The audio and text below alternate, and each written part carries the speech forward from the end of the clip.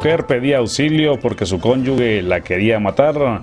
La información de esta captura con el comisario Ángel Quiroa de León. Pues mire, este es un flagelo que, que es muy común, eh, principalmente pues en, en, nuestra, en nuestra cultura guatemalteca, ¿verdad? Primero por el, el, los antecedentes eh, vividos en la historia en Guatemala, ¿verdad? Pero en este preciso momento, pues eh, se logró la captura de, de, de, una persona quien agredía a su cónyuge y el detenido, pues es el señor Juan José Galicia Castañeda, de 31 años de edad. Esta captura se dio en la colonia Chinchilla del barrio Porvenir de la zona 2 de este municipio de Jalapa.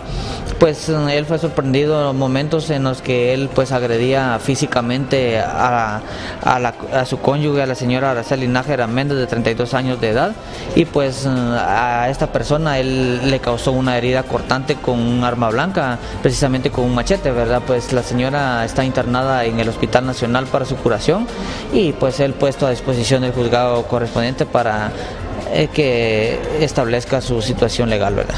Ahora, hay otra situación con esto, comisario, también el que las mujeres ahora ya pasan a ser víctimas, pero que tampoco saquen a los agresores de la cárcel, porque esto ha sido muy común.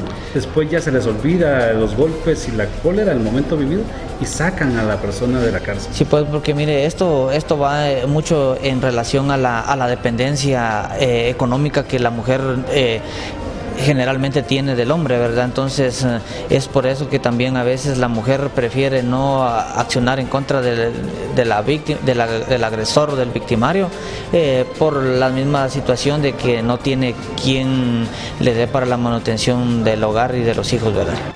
Para los T21, los Chapines y el mundo, notijalapa.net.